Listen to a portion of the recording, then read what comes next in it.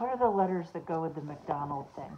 A E, No, it's not A. I thought it was, oh, J, J E H? J E H, yeah. Well, anyway, it's the puppy whose last name is McDonald.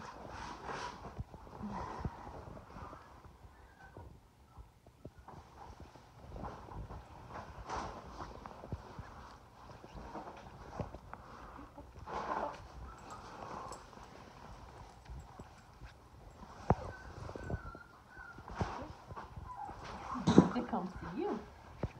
Okay, okay. Lost interest in the sheep. There it is. There it is.